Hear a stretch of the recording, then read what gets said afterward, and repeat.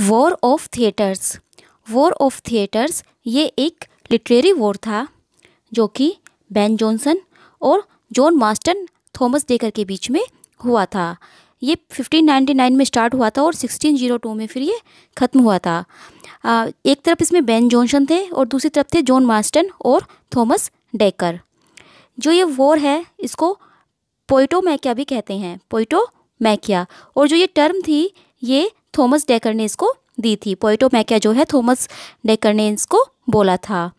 Total seven books were written during this war. यानी कि इस वॉर में जब ये उनके बीच में वॉर हुआ था, इसमें सेवन बुक्स लिखी गई थी, क्योंकि एक लिटरेरी वॉर था।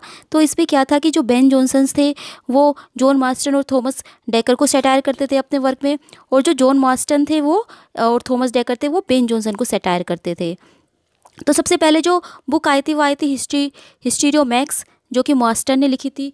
1599 में ये आई थी और इसमें सेटायर किया था जॉनसन्स के प्राइड को यानी कि जो बेन जॉनसन थे उनके प्राइड को मास्टर ने सेटायर किया था 1599 में हिस्टोरियो मैक्स में जिसके जवाब में बेन जॉनसन ने फिर एक बुक लिखी थी every one out of his humour every man out of his humour fifteen nine में ही आई थी। फिर आ, मास्टर ने एक बुक लिखी जैक ड्रम्स एंटरटेनमेंट 1600 में जिसके जवाब में फिर जॉनसन ने एक बुक लिखी 1600 में ही, सिंथियास रेवल्स। और सिंथियास रेवल्स में जो है, उन्होंने सेटायर किया था मास्टर और डेकर दोनों को। जॉनसन ने मास्टर और डेकर दोनों को सेटायर किया था सिंथियास रेवल्स में।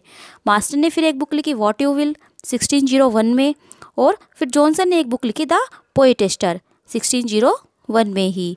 और उसके बाद जो सबसे लास्ट बुक इस वॉर में लिखी गई थी, वो डेकर ने लिखी थी सेटेरियो मैस्टिक्स सेटारियो मैस्टिक्स जो लिखी थी 1601 में लिखी थी और ये पब्लिश हुई थी 1602 में।